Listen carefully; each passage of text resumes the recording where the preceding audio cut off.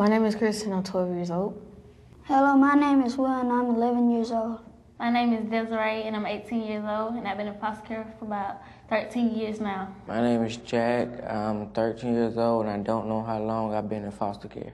They want what every child deserves I'm Christopher. a loving home, I'm 18 years old and I've been in foster care for 13 years. a family of their own. My name is Brown. I'm 17 years old. I've been in foster care since I was born. In Montgomery, Alabama, this is the Brentwood Children's Home, Come on to the house. a place for kids from families broken beyond repair. They're all between 10 and 21 years old, and like Will, all available for adoption. Yes, I think about it. Will's a fifth grader in his seventh school. And what goes through your mind? Like, what kind of family will adopt me? When will it happen?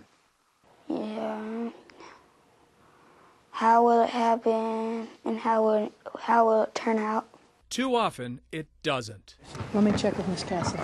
Kim Herbert is Brentwood's executive director. In your four years, how many adoptions have you had? We've not had any adoptions. Pierces your heart. That's what we want for them. Adoption awareness has been heightened by the Haiti earthquake, which created thousands of new orphans. In the last eight weeks, more than a thousand Haitian children have come to America for adoption, more than the last three years combined.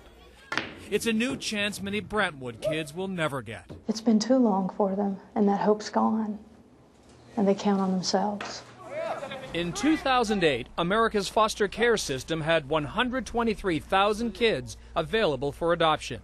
55,000 of them, only 45%, were adopted. And typically, the older they get, the worse their chances it will ever happen. I think because people have this notion that they should raise a baby, it takes a minute for people to wrap their head around what if I took a child who wasn't an infant? Many states and agencies post albums of available children.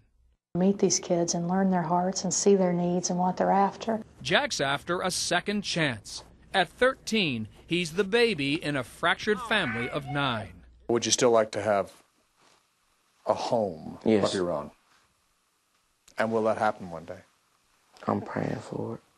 They all are, praying for a family that, so far, is just a dream.